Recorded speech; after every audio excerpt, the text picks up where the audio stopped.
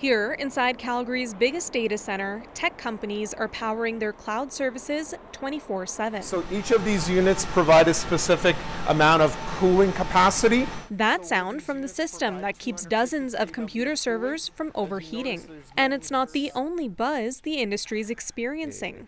As demand soars for artificial intelligence, so has interest in building data centers like this one. The federal government is keen to see more of them. So is Alberta's. We're going to continue doing uh, work on AI data centers. I've been reading, it seems like a new proposal is popping up every day. But some in the province are hesitant. eStruxture is the company that built this center called Cal 2. It was hoping to build another in Rocky View County, but. So your application has been refused. A big reason the county rejected it an uproar from residents. They worried about how much water, power, and farmland a neighboring data center would take up. This associate professor of anthropology thinks data centers have a public perception problem. And I think there are many Albertans who are beginning to realize uh, not only the question of where is the power coming from these data centers, but I think the other big question is water. eStruxture is aware of the perception. I think the challenge that the industry has is it gets painted with a broad brush.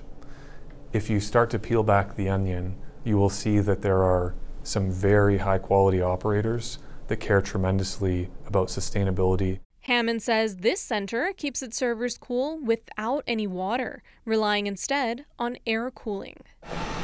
Cold air comes into the front of the equipment, gets sucked in, cooling the circuit, and then that hot air escapes from the back and then gets cycled back. Using little to no water is an important consideration in Alberta, a province prone to droughts. But one expert says air cooling comes with a trade off.